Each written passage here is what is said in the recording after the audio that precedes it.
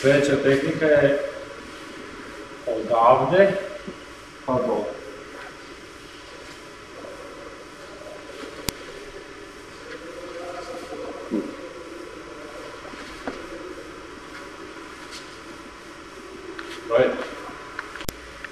Gore, iskorak. Sečete sa vaše leve na vašu desnu stranu, tonete dole i sa vaše desne idete na vašu levu stranu i polegnete po.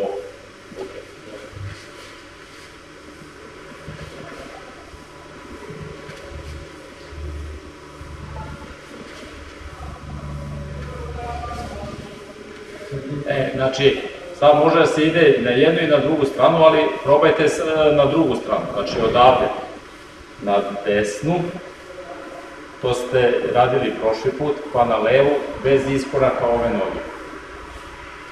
A sada sa iskorakom ove noge. Ovako i ovako. Ajde, ajde.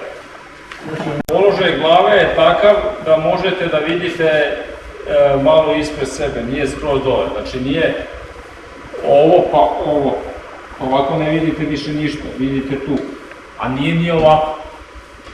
Razumete?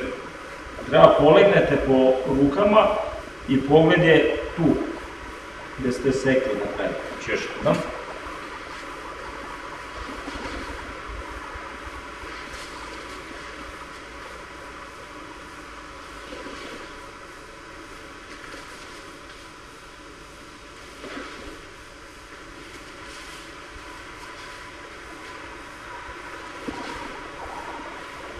Ajde, pravi. zasek bude uh, snažniji, onda je pokret ovako.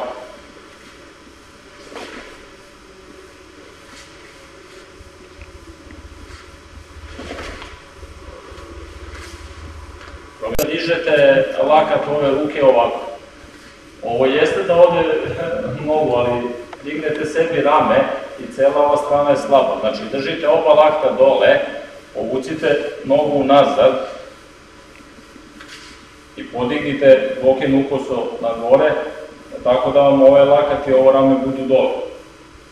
Zatim iskorak, sečete, tonete i pružate se.